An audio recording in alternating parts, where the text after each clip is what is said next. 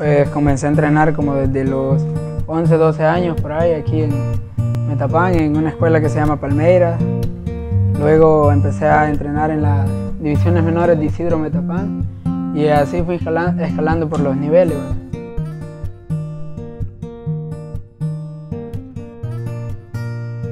Después salí para segunda división, eh, luego regresé para la reserva de Metapán y ya de reserva ya salí para, se presentó la oportunidad de que se creó la Liga Inde y vi que era una buena oportunidad, decidí apostarle y me dieron la oportunidad ya en Santa Ana Municipal. Pues mi día comienza como 5, 5 y media, dependiendo las cosas que tengamos que hacer en el día, ¿verdad? Si tengo que entrenar, entonces a veces tengo que madrugar más por si los entrenos son en la mañana o cuando son en la tarde, ahí tengo que, que ir como acoplándome al tiempo para organizarme bien y ayudarle a mi papá, tanto a él con el ganado y la agricultura, y pues ir a entrenar. Creo que solo uno sabe el esfuerzo y las cosas que le toca que andar haciendo y, lo que pasa a uno, lo que sufre, pero al final de todo los tiempos de Dios son perfectos, las cosas se le llegan a uno, una vez uno se esfuerza, trabaja y persevera, cuando uno menos acuerda las cosas llegan y la verdad que sí ha valido mucho la pena.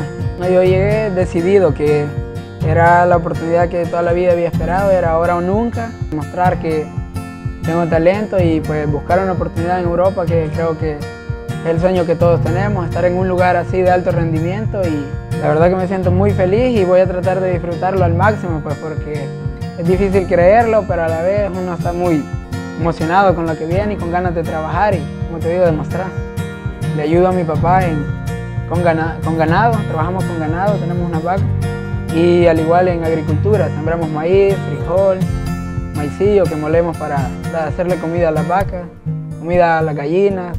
Bueno, con las vacas es bastante complicado, ¿verdad? Porque les damos comida en la mañana, en la tarde, entonces son como lapsos de tiempo los que quedan que uno tiene que aprovecharlos para, para hacer fútbol y, descansar un poco.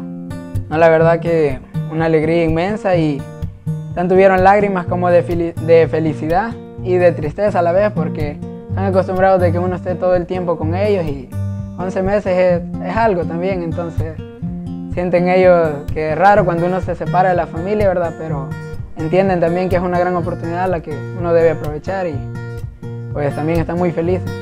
Sí, he pensado eso, que sin duda este viaje, si, lo, si yo lo sé aprovechar de la manera correcta, me puede traer muchos beneficios y arreglarme más mi futuro como futbolista.